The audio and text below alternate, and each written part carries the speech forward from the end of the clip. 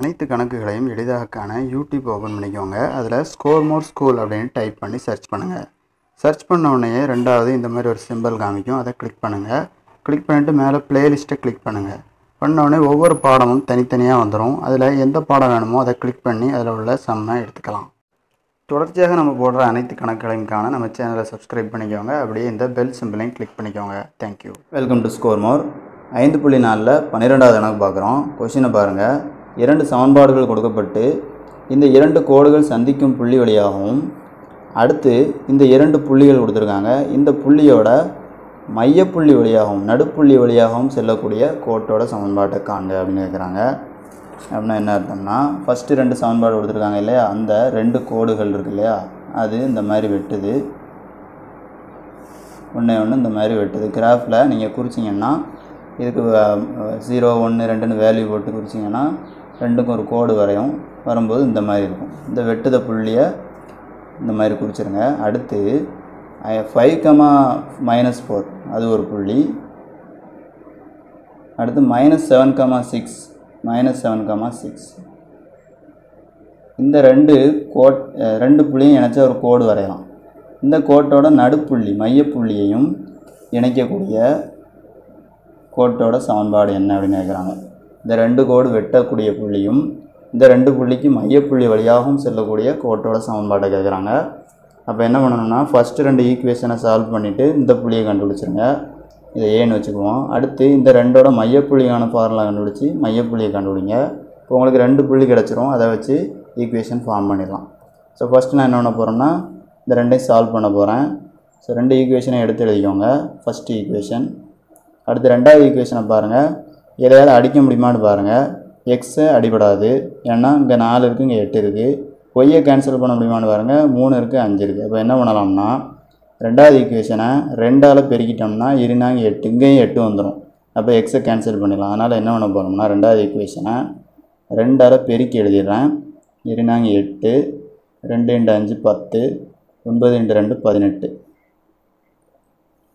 So இந்த மாதிரி பெருக்கிட்டு ஒன்றுலேருந்து ரெண்டை கழிச்சிருவோம். கழிக்கும் போது தான் நமக்கு கேன்சல் ஆகும். அப்போ அடையாளங்களை மாற்றிடுங்க கழிக்கிறதுக்காண்டி. இப்போ எக்ஸையும் எக்ஸையும் அடிவிட்டுரும் இதில் கழிச்சிங்கன்னா மைனஸ் செவன் ஒய் இந்த பதினெட்டும் பதினெட்டும் அடிபட்டுரும். இங்கே வந்து ஜீரோ தான் இருக்கும். பதினெட்டில் பதினெட்டு போனால் zero minus seven y equal to zero நமக்கு ஒய் தான் வேணும். இப்போ என்ன பண்ணணும்னா மைனஸ் செவன் இந்த சைடு கொண்டு வாங்க.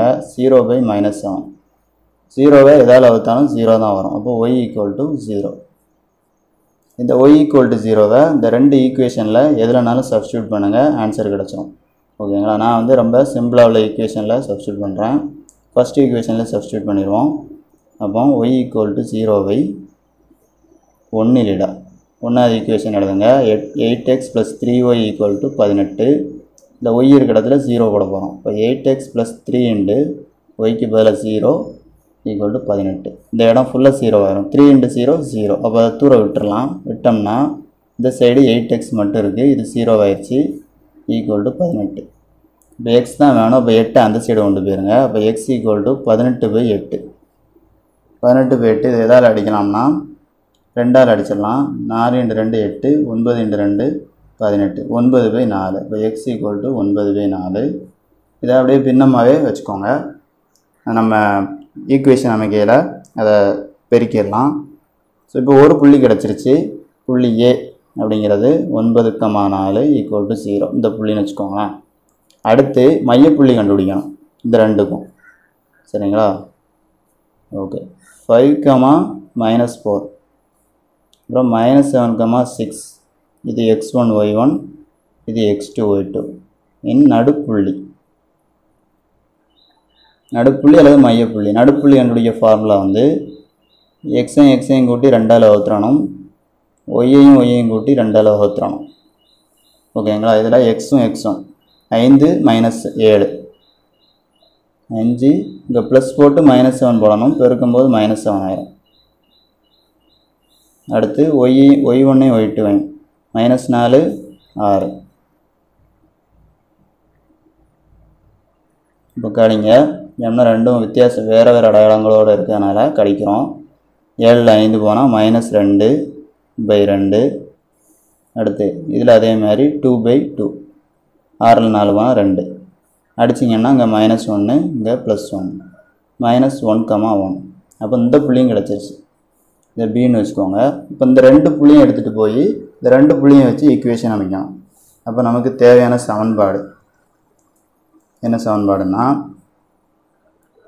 ஒன்பது பை நாலு ஈக்குவல் டு ஜீரோ மற்றும் ரெண்டாவது கண்டுபிடிச்சல மைனஸ் ஒன்றுக்கமா ஒன்று வழி செல்லும் நேர்கோட்டின் சமன்பாடு. அதுக்கான ஃபார்முலாவை எழுதிக்கோங்க. இரண்டு புள்ளிகள் கொடுத்தா சமன்பாடு அமைக்கக்கூடிய ஃபார்முலா என்ன ஃபார்முலானா y minus y one y two minus y one x minus x one x two minus x one so அந்த ஃபார்முலாவில் அப்ளை பண்ணுங்கள் ஒய்க்கு பதிலாக ஒய்யை போட்டுருங்க. ஒய் ஒன்னுக்கு பதிலாக இது எக்ஸ் ஒன் ஒய் ஒன் இது எக்ஸ் டூ ஒய் டூ சரிங்களா? இப்போ ஒய் ஒன்னுக்கு பதிலாக ஜீரோ அடுத்து ஒய் டூக்கு ஒன்று ஒய் ஒனுக்கு ஜீரோ அடுத்து எக்ஸ் அப்படியே போட்டுருங்க. எக்ஸ் ஒன் இருக்க இடம் என்னது? ஒன்பது பை நாலு. மைனஸ் சரி divided by x two minus x one minus ஒன்று மைனஸ் ஒன்பது பை நாலு. பின்னமாக இருக்கனால கொஞ்சம் ஸ்டெப் கூட வரும். இந்த சைடு பாருங்கள் ஒயில் ஜீரோ போனால் ஒய் பை ஒன் இந்த மாதிரி வந்துடும் இந்த சைடு என்ன பண்ணுங்கள் கிராஸை பெருக்கி கழிக்கணும். ஏன்னா இதில் பின்ன இருக்குது இதில் பின்ன இல்லை. அப்போ என்ன வரும்னா four x minus nine by four divided by minus four minus nine by four இந்த மாதிரி வந்துடும் கிராஸாக பெருக்கி கழிக்கிற இதில் ஒய் பை ஒன்றுன்னு இருக்குது கீழே பகுதியில் ஒன்று இருந்தால் அது தேவையில்லை விட்டுறலாம். அப்போ உங்கள் ஒய் மட்டும்தான் இருக்கும். இந்த சைடு பாருங்கள் பின்னத்துக்கு கீழே பின்னம் இருக்குது அதுக்கு முன்னால் என்ன பண்ணுங்க இதை கழிச்சிருவோம். Four x minus nine by four divided by minus நாலு மைனஸ் ஒம்பதையும் கூட்டுங்க. மைனஸ் பதிமூணு பை நாலு. இந்த மாதிரி வந்துடும் இல்லையா? அடுத்த ஸ்டெப்பில் என்ன பண்ணுங்க? இதை மேலே கொண்டு வந்துடும் இப்போ மேலே உள்ளது அப்படியே இருக்கும். பகுதியை மேலே கொண்டு வந்தோம்னா தலைகிழியாக மாறிடும். ஃபோர் பை மைனஸ் பதிமூணு மாறிடும். இப்போ இந்த நாலே நாளையும் கேன்சல் பண்ணிடுங்க கேன்சல் பண்ணிட்டீங்கன்னா y equal to four x minus nine divided by minus பதிமூணு. அடிபட்டது போக மிச்சம் உள்ளதை எழுதியாச்சு. இப்போ இந்த பதிமூணு என்ன பண்ணுங்கள் இந்த சைடு கொண்டு வந்துடுங்க ஏன்னா பகுதியில் இருக்கக்கூடாது. ஈக்குவேஷன் அமைக்கையில் பெருக்கி ஒரே நேரம் வந்துடணும். இந்த பதிமூணு அங்கே வந்துட்டுவாங்க வாங்க என்ன ஆகும்னா மைனஸ் பதிமூணு ஒய் இந்த ஃபோர் எக்ஸ் மைனஸ் நைன் இந்த மாதிரி வந்துடும். அடுத்த ஸ்டெப்பில் என்ன பண்ணுங்க? இந்த ஒய் பதிமூணு இந்த சைடு கொண்டு வந்துடுங்க ஒன்று இதை இந்த சைடு கொண்டு வரலாம். அல்லது இதை ரைட் சைடு கொண்டு வரலாம். நமக்கு எக்ஸ் ப்ளஸ் நம்பராக இருக்கனால இதை வந்து அங்கே கொண்டு போனால் மைனஸ் ஆகும். அதனால் அதை அங்கேயே வச்சுட்டு இதை இங்கே எடுத்துகிட்டு வந்துடுறேன். இப்போ வந்தால் என்ன ஆகும்னா ஏற்கனவே இருக்க நம்பர் பாருங்கள் ஃபோர் எக்ஸ் மைனஸ் நைன் இது உள்ளே வருது. இப்போ என்ன ஆகும்னா ப்ளஸ் ஆகிரும் ஈக்குவலுக்கு இந்த பக்கம் ஒன்றுமே இல்லை அதனால் ஜீரோ இதை வந்து ஆர்டர் எழுதுங்க எக்ஸ் எழுதுங்க ஒய் எழுதுங்க அடுத்து நம்பர் எழுதுங்க.